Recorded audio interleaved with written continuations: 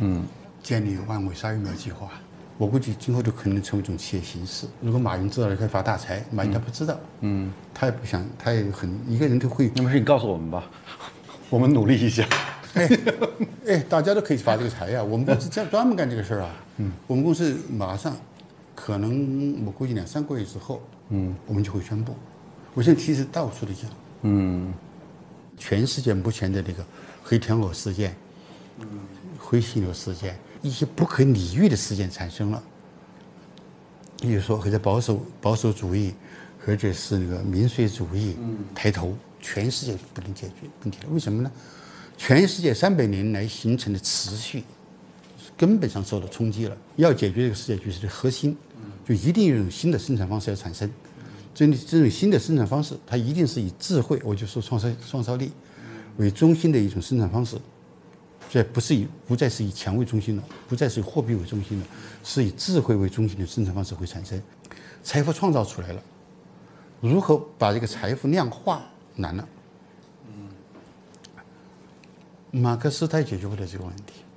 马克思的劳动价值量，嗯，价值等于社会劳动平均时间，谁算得出来社会平均劳动时间？算不出来，稍微转化就成了劳花的劳动时间多长。那越笨越好，越笨越有价值。嗯，花劳动时间长嘛，所以我们就通过很长时间，我们就发明了一套分配方法。九十年代我分析成功以后，我们一下进了几百人、上千人在南德公司，都是国家机关来的，像冯仑那帮就是就是就是来的，他们连什么都不知道，在这工作一年、两年以后，什么都知道了。哎，这个空手道嘛，这套我也搞得来。嗯。好，我就从那儿受到启发。只要一个职工提出一个好主意，一个聪明的好主意，嗯，你提出来在我们公司生活一段时间，会这套了。你说要多少钱吧？你你干这个事要多少钱？他说要一千万。我说我给你一千万，你折腾去吧。折腾有有两个可能：第一个成功了，第二个失败了。如果成功了，我们怎么就牵涉价值量了？我怎么分配？嗯，我们的分配就是把你公司送给你，送给你。我们只你保留百分之四十四十九的分红权，不是股权。我们不能够参与这个参与你的决策，也不能够指挥你。你想怎么干就怎么干，你把折腾烧了，我也管不了你。但第二失败了，算了，就是我们倒霉。但我们怎么保证我的安全呢？我有一一千个，和我们就说十个吧，好说话，十个一千万，一个亿。但个聪明的好主意，它产生那个和现在一般都是高技术。更是创新点一般都是非常，它利润率绝对不是百分之几，甚至不是百分之几十，它往往是百分之一百。那么这个跟风一个风险投资的平台有什么？那很大的区别。嗯，它是一套理论。第二，我们不去评估，不去尽调，嗯，也不去管它。我也不是给一点点，我给包了，把你全部风投要找这个找那个风险投资，你一点我一点，天天说那个就浪费在无谓的事情上。嗯，你怎么知道？一个天才的想，你怎么知道一个天才想法的价值？嗯，你怎么知道？所以你一点不担心这个失控？我不在乎这个事儿，我不在于在乎。所以我就创造，我们现在就创造了一种完整一套完整的，从理论上说明的事儿了，从实践上的一套制度了。也许八月份，也许九月份，也许十月份，我就会公开那万维杀疫苗计划。嗯，请大家来呀，愿意相信这套的。读研究生的，就研究生嘛，就这一套，完全从理论到到实践。研究生十万块钱一年，就住在我那儿，条件很好。我每年准备了花很多个亿。哪怕出来几个人，你就我们就够了。嗯，那您怎么证明这边对他们的吸引力呢？就这边，嗯，现在有成功案例吗？我估计很快就会产生很大的影响。嗯，我们说现每天现实就是个事儿。刚你说思思想思做思思想者是孤独的，您怎么应对这些孤独呢？我只拼命。我不想成为一个思想家。我希望我用实践来证明我的思想正确的。我们五十年代很学了很多马克思主义，我就想了很多，开始想中国向何处去。但是想过去想过来，天天挨斗啊，思想太复杂。思老师我思想复杂。主要是爱斗，主要是如何能够争取一个生存的权利，成分的问题啊，家庭出身嘛，但是我不想选择投降。我认为每一个人就每个人时代时代使命。嗯，一九七八年，嗯，搞改革开放，就是我要办个公司要去实践。嗯，如果说经济学家不实践，就等于我当时很挖苦人那句话说的太过了，就一一一群老母鸡要教一下一一群小鸭子游泳，他自己都不游，他怎么能够教小鸭子游泳呢？是不是这个比喻，嗯就因此得罪了很多人。嗯，再反正我又不是个经济学家，我也不害怕。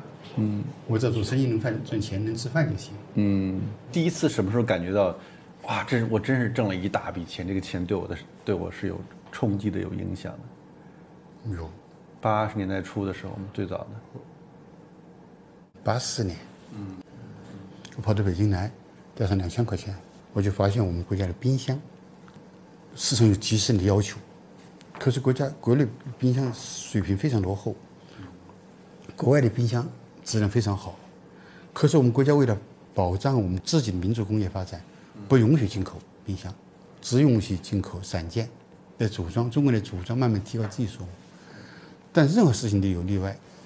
就是什么呢？如何界定什么叫冰箱，什么叫冷冻机械？同一个文件就鼓励进口冷冻机械，三百六十一升以上就叫冷冻机械，三百六十升就叫冰箱。我就把这点看准了，去南韩订一万台，三百六十厘升，定量身定制，我就算冷冻机械了，那国家不控制，大量进口。我赚了很多钱，嗯，那次赚了多少钱？一千五百万，哇，八八七年啊，嗯，赚了一千五百万，哇，巨大的一笔钱，哇，简直现在想起来那时候不可思议啊，对，哦，我那时候说，那赚钱太容易了，嗯，遇到最大的一次挫折是哪一次呢？好像我认为都是挫折，但是都是我前进的一个阶梯，我就不认为它挫折了，从来没有觉得哪个挫折是过不去的，那肯定能过去。或者说怎么面对那种自我怀疑呢？肯定会有很多自我怀疑吧。那就是我一九九二年四月二十一号嘛，那怎样？一架飞机，我从广州回来，飞机掉下来了。嗯。那飞机里边哦，行李飞机哦，把手都打断了，飞机那个座位都扭曲了。嗯。居然摇摇晃晃的飞到北京来了。嗯。我也没死，我很多次死亡，就要要命枪毙啊，飞机掉下来了呀，瘟疫呀，饿饥饿呀，好像都搞不死我，我甚至迷信了。你像我小时候几岁的时候，养鸽子，我把那屋上房顶上去了，掉下来了，地下全是青石石头。我的个事人很奇怪，我还想过要死了，结果掉到缸里边去了，一个睡一个，你是一点毫发无损。嗯，在九岁的时候，十九年，嗯，就那年，嗯，我认为人生最重要的就是信心，嗯，信心，信心。我相信我，天生我材必有用。嗯，千金散尽还复来。我们的老乡李白。嗯，就三代王性格。嗯，三代王。嗯，那也不怕这是盲目的信心。您您今天一天是怎么安排的？早上起来跑完步之后去去去北京去城里开会是吧？今天今天一天我就太紧张了。嗯，我今天一天第一个事儿就是跑步。嗯。回来的路上收到一个一个很重要的一个会议，要我立即的赶到会上去。嗯，我推迟了，因为我要求推迟一个一个半小时，因为是九点钟昨天安排一个会议了，那边通知我九点钟出发，我这边请了半小时假，在路途当中打一电话出现具体问题，嗯，又开一个会，还又赶回来，因为我上午约定的这个人是十点钟，他从俄国赶过来了，他今天晚上要回满洲里，嗯，所以这吃中饭。孩子哒哒哒哒在说，说完以后，我怕跑身劳一血，我休息一个半小时，三点钟就那就开始，这是我一天，嗯，很苦，嗯，很累，嗯，压力很大，但是很快乐，嗯，可命就生成这样的，嗯，如果叫我一天闲下来没事儿，嗯，坐这儿东想西想，我不善于像你们那样，嗯，思辨思维，我不会，我不善于这个东西，而我更善于的就是。驰骋商业江，商业战场，就是饮马背加而呼，那您觉得您跟九一年现在过了快三十年、二十八年了吗？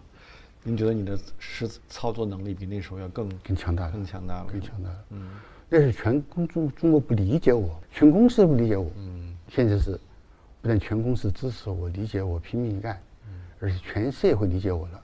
所以这个这个新的这个思路还是当年这个飞机的思路，还是换东西嘛。嗯，我我因为我要把过剩产能搬过去嘛。嗯，以前是把过剩库存搬过去。嗯，现在我力量大一些了，搬过去我就不满足我的要求了。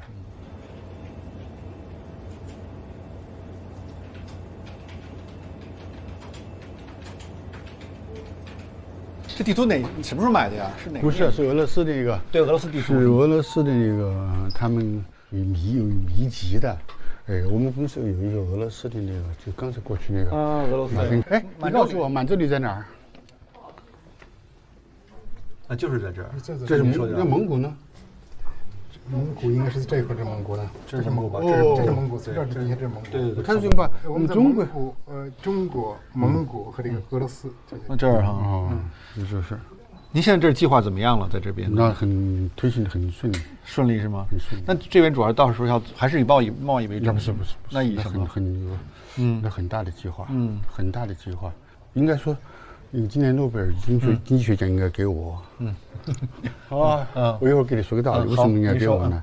就是说，我认为我们向向整个西方开放，就像美国呀、日本呐、欧洲啊，对他们来讲呢，是把它过剩产能转转移出来。我现在回想起来，我们这个就八七年破机械，嗯，破设备，嗯，投资全世界的东西，投资多少亿美元，嗯，它不是这个多少亿现金，嗯，是破机械，嗯，拿过来我们当先进设备安装啊，干那些事儿。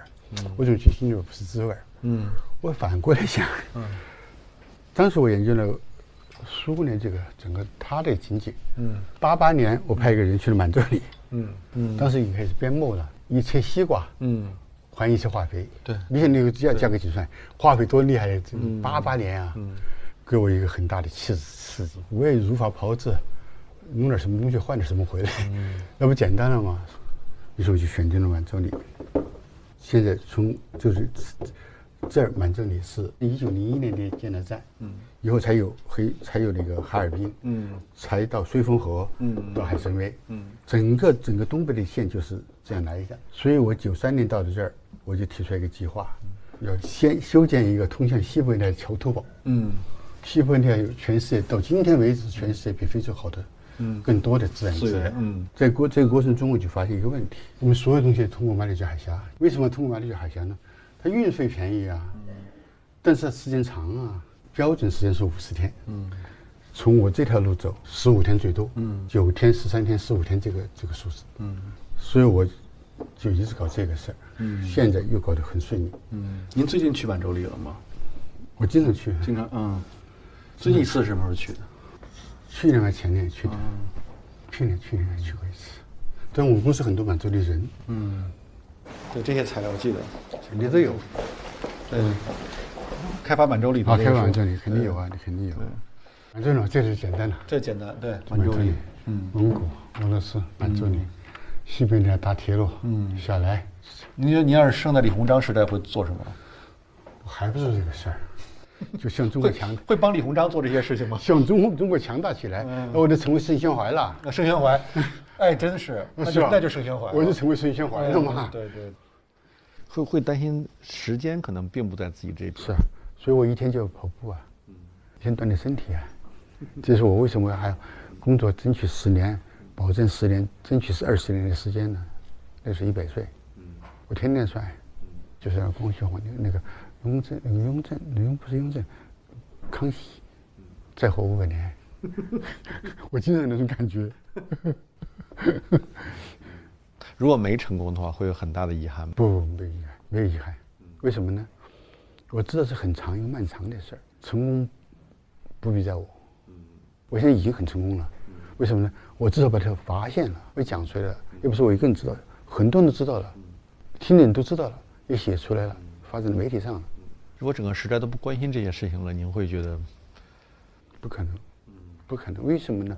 我跟你讲了嘛。经济学一个根本原理是，人成人的自立行为。第一人是自立的，第二人是理性的，嗯，马斯洛，嗯，马斯洛这个五个阶段，最后一个就是人生价值的实现，所以我如何来实现我人生的价值？我还可以这样干啊。所以跟着我的人也是一样的，又不是关心我我，是关心他自己。但可能时代已经发生很大的变化，那个价值的指向不像过去那样那么那么重要了。很重要，像那个调整风车一样，是吧？哦，什么也？想不起来了。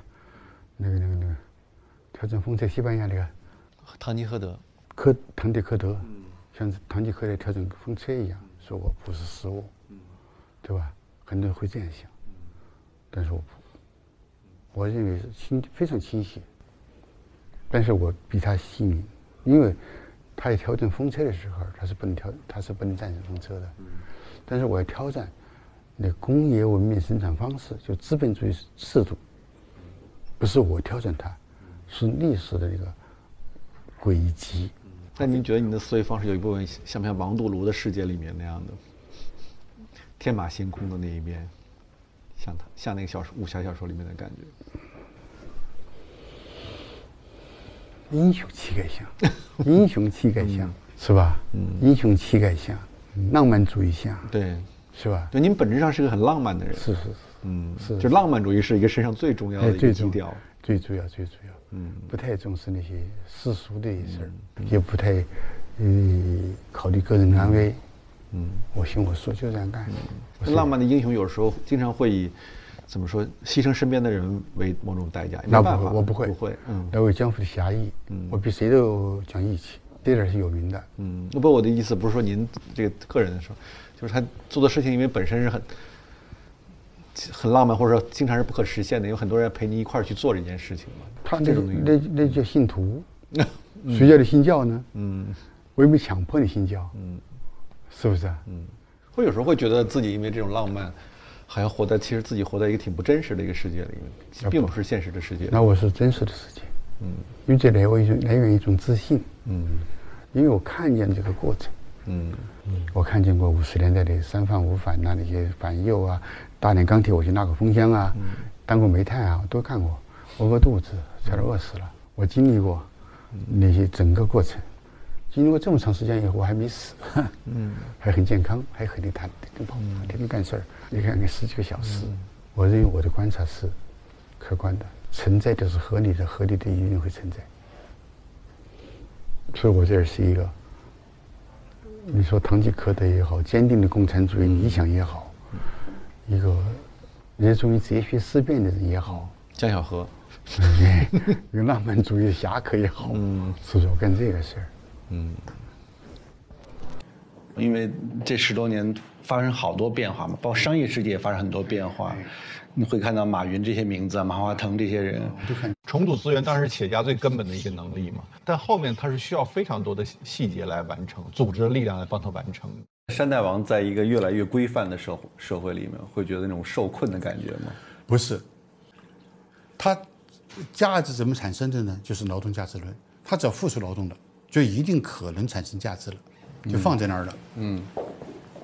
但为什么没形成价值呢？总差一点点东西。就价值的形成，是个无数个生产要素集合的结果。在生产要素集合的过程中，差一个的时候，我找这个东西，集合的差一个了，我找到了，加一点点就成功了，就转化为价值了。你比如说，飞机开始做飞机的时候，我们公司有两百多人就参与这个事儿，最后越来越少，越来越少，越来越少，越来越少。为什么呢？要把飞机东西运出去，不要我们干。有一个国家的，就北京地方易货贸易公司，怎么为对外贸易，我们根本不懂那一套，他收我们百分之一的手续费。这第一个，买飞机就买不来，买飞机非常复杂的一套。我们国家有一个中国机械进出口总公司，就委托他去帮我们买飞机，他们专门买买苏联飞机，买了几十年，什么标准合同什么都有，也委托他给了百分之一手续费。他的盖个章，标准合同，模式给他执行。你想，就一个飞机进来，一个飞一个东西出去，一千多个车皮运都运了五年，嗯，我们怎么干得下来？那不可能。设计成功以后，执行这个计划的时候只有六个人，我们现在还是个办法，寻找，就把那一点点加上去。我的信息来源于这儿，是条方法。我就又回到黑格尔，只有方法才是世界上唯一的、至高无上的、不可战胜的力量。嗯那您觉得你这方，因为所有的方法都会有它的局限性和缺陷，您觉得您这方法它的局限性有吗？我还不熟练。我开始干这实验的时候三百块钱，把家里边缝纫机给卖了，三百块钱。我属于个体户，最边缘，地在在社会上也是最底层的。当赚了更多的钱，还想赚更多的钱，还要想赚更多的钱，越赚越多，越赚越多，越赚越多。所以就一次一次把我抓进去，就肯定是诈骗来的。他传统偏见嘛？什么叫传统偏见？嗯，那你不是你你凭三百块钱为什么干这个事儿？因为因为因为国家又不是国有企业，没又没有金融支持，说我就给他那个审判我的人说，我现在应该受到审判的不是我，是因为你们那个标准出了问题了，你就认为一定要有很多钱才能干很多事儿，我没钱我就也能干很多事儿，所以那个媒体那事儿，全国媒体围剿我就说空手道，空手套白狼，就一定是诈骗。我我也喜欢读武侠小说，还有不是金庸金庸以前王都禄，他讲的最高的那个是那个那个武功，就是空手夺白刃，发到金庸那儿是乾坤大挪移，是不是？发到金庸那儿变这套手段了。哎，我说有这套手段的，你还说我是，呃，我抓起来，我大家会这套多好，是吧？嗯这三年，刚刚您说要这一直要往前冲嘛，往前看，改变这个现现状。现在还有什么特别想尝试的事情吗？没有，我一天就是，现下一个任务就是，嗯，建立万维鲨鱼苗计划，吸引全世界的智慧，服务我们不是管理，是服务全世界的智慧，为你服务。您觉得中国人为什么那么想发财呢？您觉得？长期的贫困，五千年的贫困给我们积累下来的教训就是，要击鼓防饥，养儿防老。对您个人来说，我什么时候突然你就一下子发现自己有经商的天赋的吗？对对钱的那种理解，好像，我觉得他们怎么会感觉这么难呢？我想没有很难，我们觉得很难，是吧？是吧？嗯从来没觉得很难。这也是天赋。嗯，我在牢里边儿，嗯我也可以赚钱。呃，怎么弄呢？嗯，我我没饿死，我没我我就是第一次坐牢没有吃的，就把我放那个叫大耗子，就关很多犯人那些人，那里边就放在那里边儿。还有时候我想到一个生财之道，我每天给他们讲故事。我看过那王都庐那十十六本王都庐是吧王都庐嘛，就是武侠小说开开山鼻祖。因为那个监狱里面有什么娱乐呢？我讲故事啊，我没力气养了，我躺在那儿，大家都要给我饭吃，通过讲个故事来融资是吧？讲个故事来给我吃饭嘛，至少是我真的，我现在有挣了钱了嘛，是不是？呃对对对我就活下来了嘛，我是这样活下来的。嗯所以这个模式很早就开始了。我说我说后来不讲更大的故事了吗？讲讲卫星的故事，讲是是吧？讲飞机的故事。刚才我说的那个故事就是，金融本质是跨时间的价值交换。你要讲个故事，这个保证的故事一定成功，自然有人把钱给你。就如何能够说服大家给你？但比如说，在九十年代，您讲了很多伟大的故事，那个换飞机肯定是最成功伟大的故事，但后面的故事就没有那么成功，你觉得原因是什么呢？其实卫星比飞机成功的多。嗯，很多人帮我呀。中国最成功的滑雪在美国叫李新林，他参与了美国硅谷的筹建。他最高职务是美国 AT&T，就美国国家电报电话公司的一个副总裁，是华人最高的职务了。他把我介绍给一个美国卫星之父，唐纳德。我由我出面把他的卫星设计公司买了，我俩跑到硅谷去，很便宜，很便宜。现在想起来真太便宜了，多少钱？一百六十万美元，一个设计公司，就就几个人嘛。其实如果说那个事儿发展下去，中中中国现在当时那个比尔盖茨往谈，就是八百颗卫星把把地球包起来，嗯，就我们开始搞低轨道卫星，搞七颗卫星，东南亚覆盖。如果说当时不被我们抓起来，卫星可能变成中国非常大的产业。嗯您本来是伊隆马斯克的这些事儿哈，哎呀，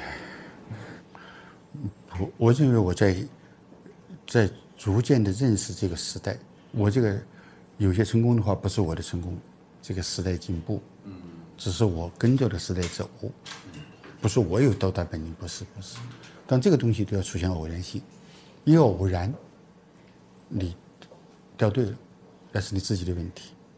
那您怎么看？比如老部下冯仑对您那些批评呢？是一个特别了不起的战略家，但是跟下面的是脱节的。您怎么看待这种批评呢？我认为我肯定脱节。嗯，思想者是孤独的，是不是？你喜欢冬天还是夏天，还是还是什么季节最喜欢？冬天，冬天啊？为什么是冬天呢？它叫着一种好像要去运动的感觉，嗯你坐不住啊？嗯，你坐你站得住吗？等于是要要要抵抗外严界的感寒，觉，严寒，嗯，要战胜它。要考验人的感觉，哎，它叫清醒，可以防止懒散是吧它？叫清醒。嗯，就严酷嘛，就自然环境很严酷的时候，我最不能够是因为那个懒洋洋的春风拂面的那种感觉，好像不太好。是不是是不是人少了？比上次来我感觉少了几个是吗？嗯没事，啊，这个事儿嗯嗯找不到人。嗯，但是三个朋友啊，四个朋友啊，走哪儿去喝点酒啊，聊点天您是不是不不太喜欢跟朋友一块儿吃饭？我不吃饭，我不吃饭，嗯，我从来不和人家吃饭，那为什么呢？没有浪费时间。啊，有时候我自己觉得我自己无聊，嗯，您这一生还无聊啊？做了这么多事情，你想嘛，经历这么多事情，无聊，哎。我和人们不一样，嗯，人家说吃个美酒啊、美女呀、旅旅游啊，我一点兴趣都没有。所以读书、思考、想这些事情最有意思。嗯习惯了。说人生啊，所谓幸福，就是能去改造世界。所以我我对人生的幸福，幸和不幸和人家定义不同，定义不同。那你觉得你幸福吗？我很幸福。我就我经常不是讲啊，就是时代给我提供的一个机会，是不是？您觉得您想象力最最充沛的时候是什么时候？最有想象力的时候？